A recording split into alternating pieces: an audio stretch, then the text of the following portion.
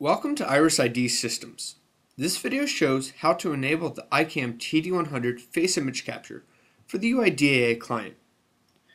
The duration of this video and all screenshots were done using Windows 7 and therefore some of the screens may look different if using a previous version of Windows.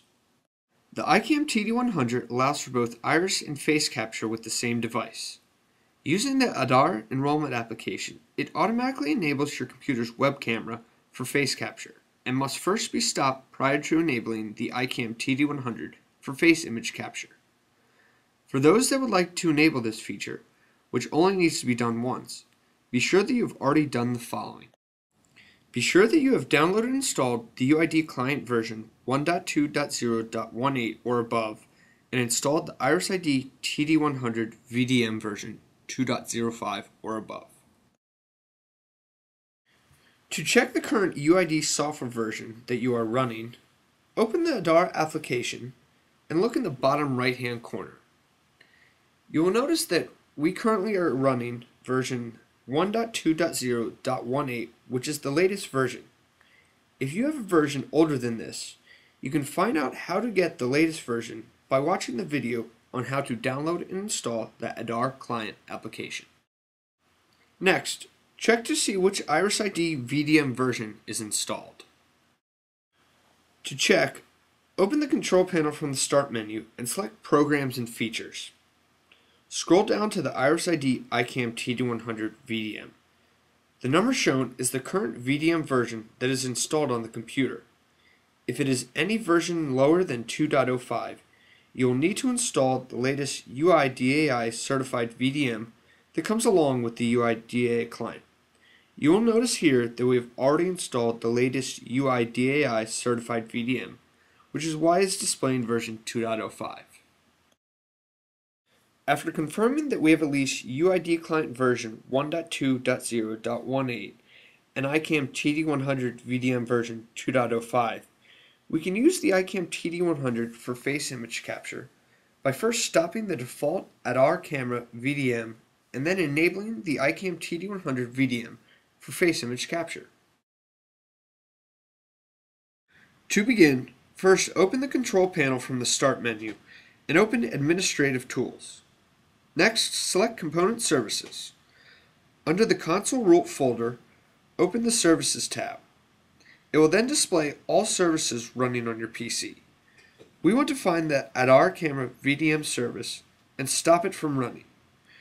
The reason for this is because this service must first be stopped before we can enable the iCam TD100 for face image capture.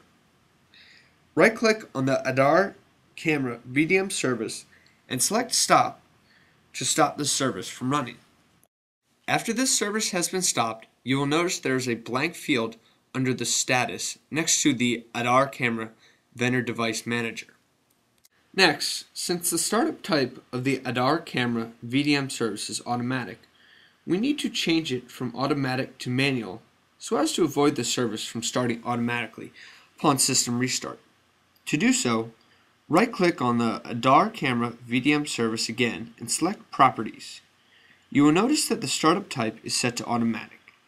From the drop-down menu, you will see an option for manual startup.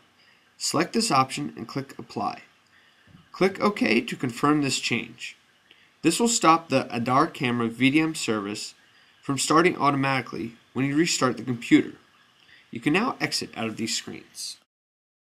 Next, open the Iris ID VDM UI application from the shortcut that should have been placed on your desktop during the Aadhaar software installation.